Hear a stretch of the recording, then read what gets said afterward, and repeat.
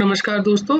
State GST department के द्वारा नई इंस्ट्रक्शन जारी की गई है, जिसके द्वारा के बताया गया है कि जीएसटी ऑफिसर को किस प्रकार इंट्रैक्शन करना है टैक्स पेयर के साथ? है दोस्तों, ये हरियाणा गवर्नमेंट के द्वारा इंस्ट्रक्शन जारी की गई हैं, लेकिन आप दूसरी स्टेट में भी अप्लाई कर सकते हैं क्योंकि ये जीएसटी एक्ट की प्रोविज़न को एक्सप्लेन करती हैं। तो यहाँ पे दुष्यंत चौटाला जी के साथ जो है मीटिंग हुई थी, जो कि हरियाणा के डिप्टी चीफ मिनिस्टर हैं, और उसके बाद ये इंस्ट्रक्शन जो है वो जारी की गई हैं।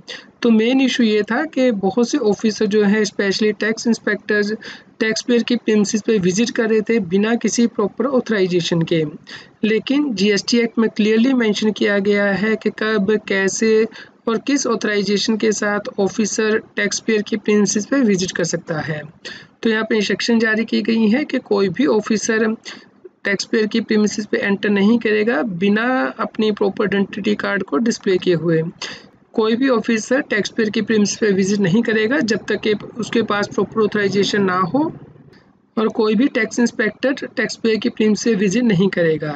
सिर्फ़ वो फ़िज़िकल इंस्पेक्शन करने के लिए विज़िट कर सकता है या फिर यदि वो सर्च इंस्पेक्शन या ऑडिट ऑपरेशन कर रहा है तो ही वो विज़िट कर सकता है।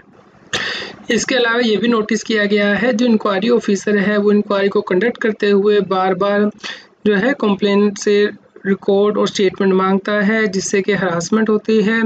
इसलिए इंस्ट्रक्शन जारी की गई हैं कि रिपीटेड जो है कॉल कंप्लेंट्स को नहीं की जाएँगी।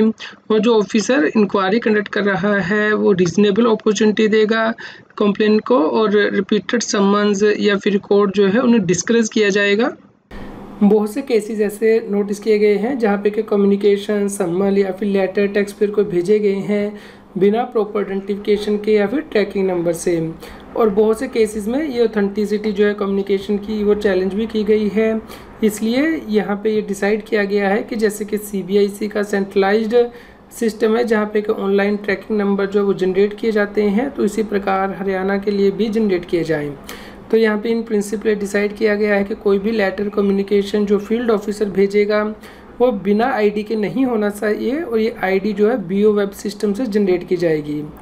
जीएसटी के अंतर्गत सभी जो प्रोसीडिंग है, जैसे कि रजिस्ट्रेशन शोक और नोटिस डिमांड रिकवरी वो हंड्रेड परसेंट ऑनलाइन है और कम्युनिकेशन ऑनलाइन ही भेजा जाता है।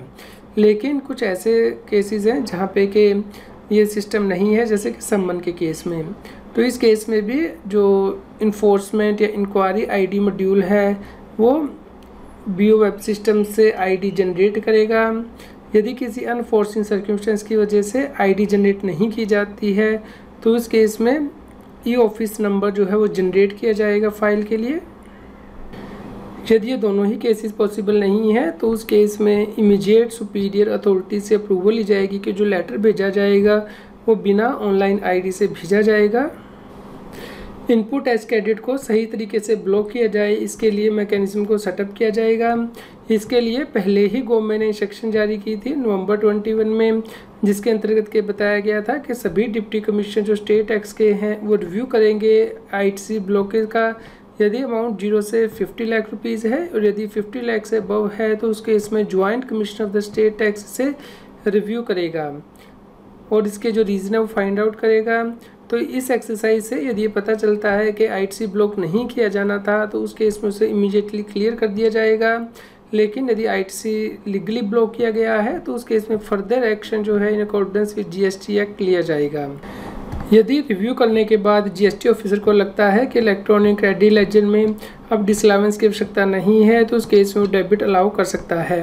लेकिन इस केस में जो बैकएंड सिस्टम है, वो सिर्फ़ जीएसटी ऑफिसर को ही अलाउ करता है कि वो ब्लॉकिंग या फिर अनब्लॉकिंग कर सकता है। इसलिए जो अनब्लॉकिंग है, वो ईटीओ जो स्टेट टैक्स का होगा, उसके द्वारा की जाएगी। इसके लिए वो अप्रूवल और परमिशन भी लेगा फ्रॉम द ऑफिसर जो कि अभी हमने डिस्कस किए हैं ऊपर पैराग्राफ में। जीएसटी एक्ट का रूल 86 ए जो है रिस्ट्रिक्शंस लगाता है, यानी कि आईटीसी को ब्लॉक करने की। लेकिन वहाँ पे ये भी बताया गया है कि ये जो आईटीसी है, वो एक साल तक ही ब्लॉक किया जा सकता है। तो ऐसे आईटीसी जिन्हें कि एक साल से ज़्यादा हो गया है ब्लॉक किए हुए, उन्हें प्रायोरिटी बेसिस पे चेक किया जाएगा रिव्यू किया जाएगा। जीएसटी पॉलिसी विंग के द्वारा सर्कुलर जारी किया गया था कि रूल 86 से की कॉम्प्लाइंस कैसे करनी है। इसके लिए हरियाणा गवर्नमेंट के द्वारा भी सर्कुलर जारी किया गया था। और फ़र्स्ट अप्रैल 2022 से जीएसटी के द्वारा ऑटोमेटिक अनब्लॉकिंग की जाएगी आईटीसी की, यदि एक साल से ज़्यादा का पीरियड हो गया है आईटीसी को ब्लॉक किए हुए। दोस्तों, इन सेक्शन बहुत ज़्यादा इंपॉर्टेंट हो जाती हैं। यदि आईटीसी ब्लॉक किया गया है किसी व्यक्ति का तो अब ऑटोमेटिकली अनब्लॉक हो जाएगा फ़र्स्ट अप्रैल 2022 से। उम्मीद करते हैं आपके लिए यह न्यूज़ यूज़फुल रही होगी। कृपया लाइक कीजिए शेयर कीजिए, ताकि सभी लोगों तक ये जानकारी पहुँच पाए और वो जीएसटी की कंप्लायंस कर पाए। यदि आप इस चैनल को सपोर्ट करना चाहते हैं या फिर आपकी कोई इनकम टैक्स और जीएसटी की क्वेरी है तो आप सुपर थैंक्स बटन को यूज़ करके वो पूछ सकते हैं ताकि हम जल्द से जल्द आपकी क्वेरी का जवाब दे पाएँ। रेगुलर जीएसटी और टैक्स अपडेट के लिए इस चैनल को सब्सक्राइब करें। आप हमें Telegram app C S B Singh टैक्सील पर ज्वाइन कर सकते हैं ताकि आप जीएसटी और इनकम टैक्स के रेगुलर अपडेट अपने मोबाइल पर ही प्राप्त कर सकें।